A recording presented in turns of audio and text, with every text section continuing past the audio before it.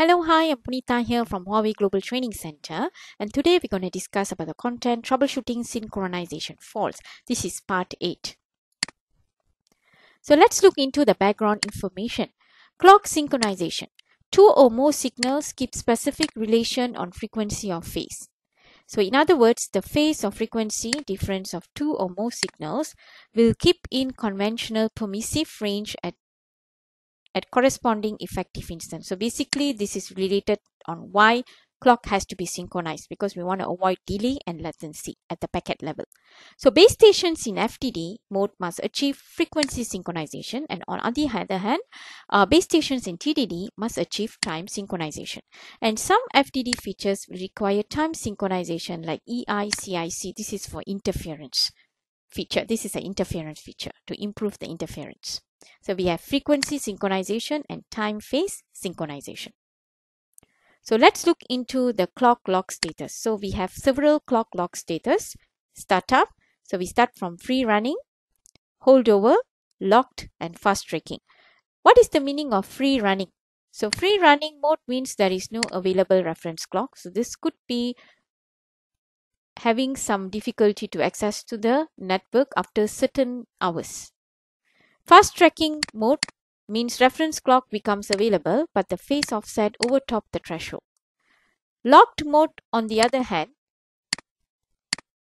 meaning that E node B obtains the reference clock and the frequency offset is less than locked threshold. So this is the best best activated mode for the clock system, cross lock system. The last part will be holdover mode when reference clock becomes unavailable or phase offset or frequency offset overtop the lock threshold. But holdover mode is temporarily maintained only for few hours.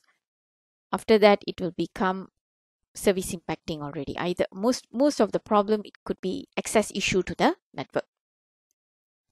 So let's look into the synchronization fault. So for this case, it can be related to GPS or RGPS clock system NTP server, IP clock server, IEEE. So we have the main clock server towards the eNode B client. So what is the classification of synchronization fault here? It could be related to the packet transmission network. It can cause delay, can cause packet loss, can cause latency issues. So it can cause, it can be related to clock reference problem, IP clock link fault, system clock unlocked fault, or time synchronization failures. So these are the main synchronization fault. So let's look into the possible causes. Maybe in this case, the clock mode is incorrectly set. So this is related to the configuration. Clock source is incorrectly added. The clock working mode is incorrectly set for the eNode B. All these are related to configuration issue. The external reference clock is abnormal. For example, there is an excessive frequency deviation or the clock source is incorrectly selected which leads to a clock lock failure. So these are the possible causes. So let's check the details for this fault. So first of all, step one, we check the clock status by running display clock status. So basically it will tell you what are the clock system that you have configured and you are using in this system. So let's try to look into this example, display clock status.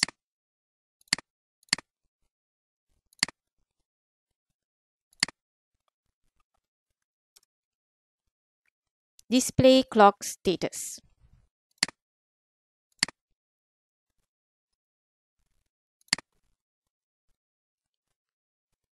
So basically we have to fill up some information. So slot number 7 referring to the UMPT card. So over here we have the details of the clock status. So the clock status is free running. That means there is no reference clock available. And it is frequency mode because this is related to the FDD base station.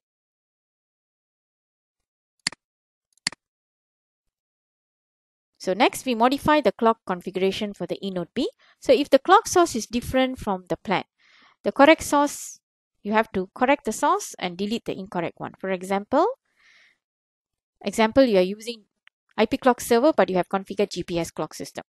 So if the clock configuration mode is different plan, modify by set clock sync mode. So when you set the clock sync mode, you can choose whether this is frequency or time. So frequency is related to FDD network and time is for TDD network.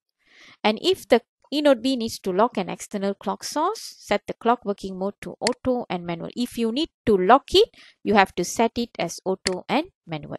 So let's look into these details from the lab command. So we're going to try to list the clock sync mode. So when you, because we want to view back what we have configured for this network. So when you view back, the clock synchronization mode is frequency. So when you set it, it's, it will have two options.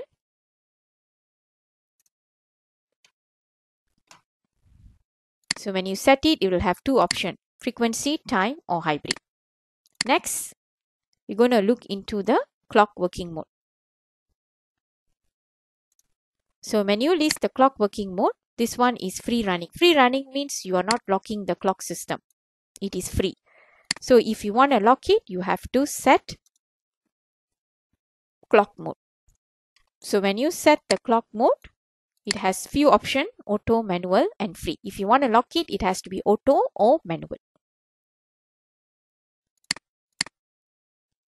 So next status, check whether the external clock resources of the eNode B is properly configured by display the clock source. So basically it has to have a license also. Like this example, they have two clock system. Both are unavailable and only one has the license which is IP clock. So in this case, you only can activate IP clock server. And we can also check the license authorized, display the license and see whether you have enhanced synchronization control item that indicates that it has been activated the function is enabled. If not, you need to apply for the license for this function. And clock source data should be available. In this case, it shows unavailable. So let's look into our example.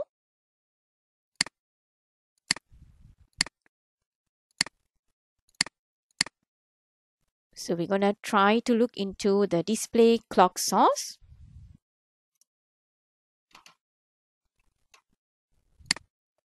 So there is no clock source available here because it's free running. So there is no reference clock configured for this network yet.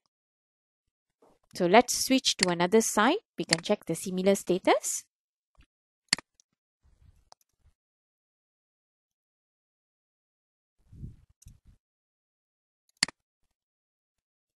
So same thing for this particular site, there is no clock source configured. So there is no external clock source for this base station. So next step, if you are using a particular type of external clock, example IP clock is used, the clock source state must be unavailable. It is if, if it's an unavailable, you must check the clock server. This indicates there's something wrong. So ping the IP clock at the eNode B and list the IP clock to get the IP clock server IP address. So log into the IP clock server and check on the connectivity of the eNode B. So this is the information. This is only when you are using IP clock server as an external clock. So these are the commands available. So let's look into the command.